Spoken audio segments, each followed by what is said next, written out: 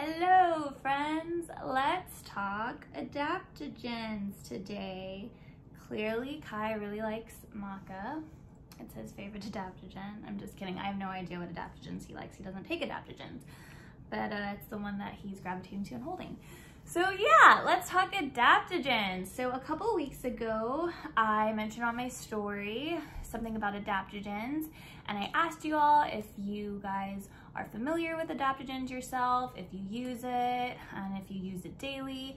And I had a few of you said that you do use adaptogens, but I had many of you who said you don't use adaptogens and you'd like more info about it. Um, via video. So here I am making a video on adaptogens for you guys. So let's talk about, hi baby, what adaptogens are. So what are adaptogens? I love adaptogens and I think they are amazing plant medicine because it naturally works with your body to help your body produce what it needs or what it's missing. So adaptogens help your body adapt to the physiological stress or the environmental stress that it's experiencing and helps bring it back to homeostasis. So super cool, super fascinating. And yeah, Let's start with my experience with adaptogens. And oh, just a disclosure, I'm not a medical expert, of course. I am just here sharing my experience with adaptogens. So of course, if you have any questions, feel free to reach out to me. I'm more happy to tell you what I used. Um, but if you need recommendations, um, always consult a medical professional first or do your own research on it. So let's start. Bye. Let's start with ashwagandha. So this is ashwagandha that I use. It's by Gaia. I love the brand Gaia. Um, they have really, really good herbs and high quality herbs, which I recommend. So I've taken ashwagandha both in the morning and in the evening. So I took it more in the morning when I used to work in sales and I had to cold call. I absolutely hated cold calling. I dreaded it and it would give me anxiety. So I use ashwagandha in the mornings to help calm me and help me have the mental clarity and focus that I needed before hopping on the phone. Um, now I don't use ashwagandha in the morning anymore. I actually use another adaptogen for that, which I'll explain in a second. But I primarily use ashwagandha in the evening now. And I use it before I go to bed in place of melatonin.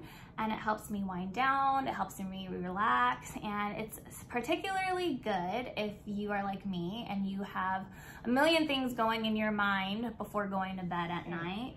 Um, it helps calm that. So yeah, that's basically what I use ashwagandha for. Um, yeah, and it's rooted in Ayurveda medicine. And if you're not familiar with Ayurveda medicine, it is India's oldest um, system of health that they've established hundreds of years ago. Yeah, and I really like Ayurveda medicine itself, um, which is how I discovered what ashwagandha is and what I used it for. So yeah, highly recommend ashwagandha too. Let's look at maca. Yeah, maca. This is what you were holding earlier. So again, Gaia. I use Gaia for maca as well. So maca is great for energy support. It literally says that on the bottle. Um, yeah, but G and I both actually used maca when we were trying to conceive this little guy.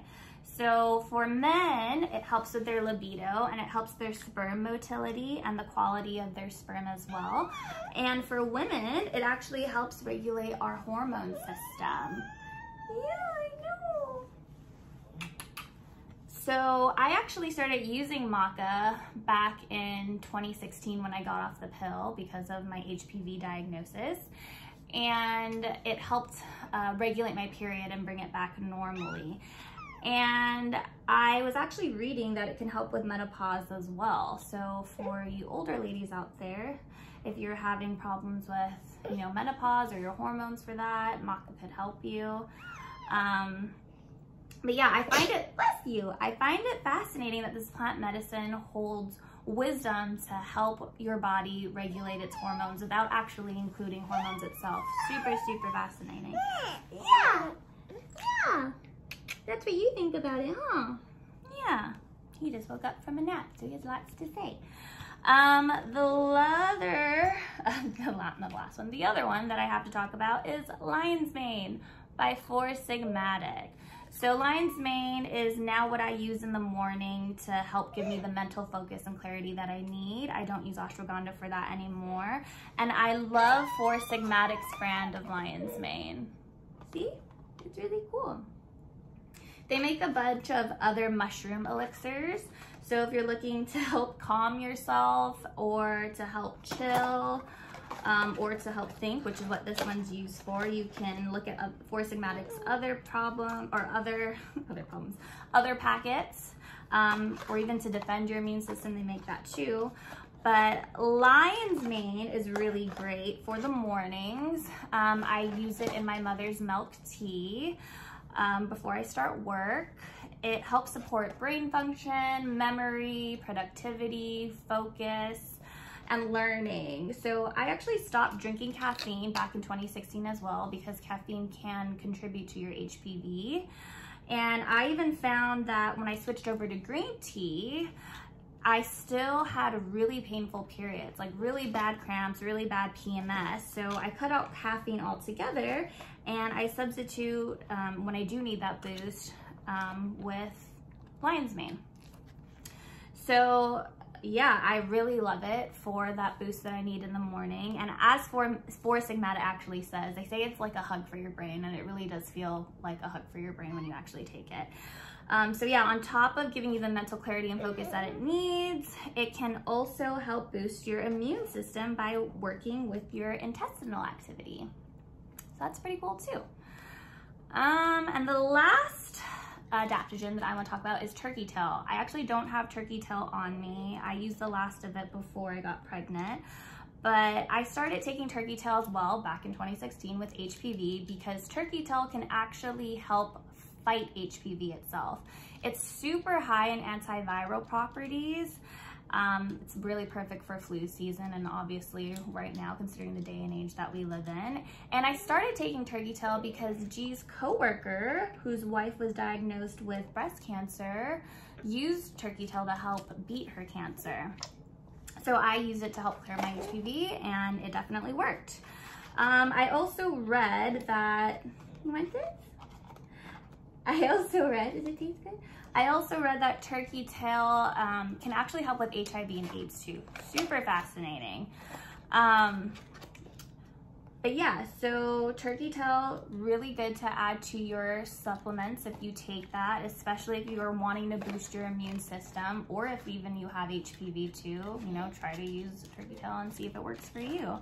Um, and it can also aid in digestion too. It's actually really high in prebiotics, so it can help regulate your microbiome. And I'm a firm believer in your microbiome and your gut being the center of your entire health and your entire immune system. So if your gut is healthy, the rest of your body is healthy. So yeah, turkey tail can contribute to that too.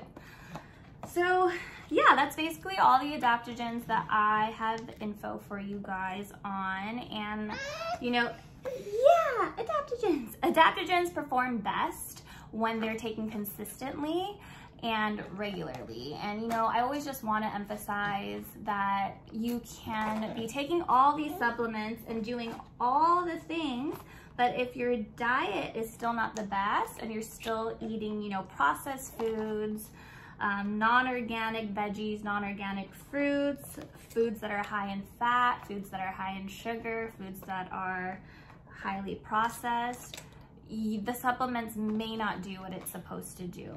You know, so if you're eating garbage, you'll most likely feel like garbage. So, you know, I just want to emphasize it's all about the whole system. Yeah, that's basically it. That's basically all I have for you. If you guys use adaptogens, yeah share with me below. Um, and for those that don't use this, use adaptogens, I hope this video served you and I hope you got the info that you needed, that you were looking for. And yeah, I hope this gave you some insight. So I hope you guys all have a beautiful weekend. Say bye-bye, Kai. Bye-bye. And let me know how it works for you. All right, namaste, bye-bye.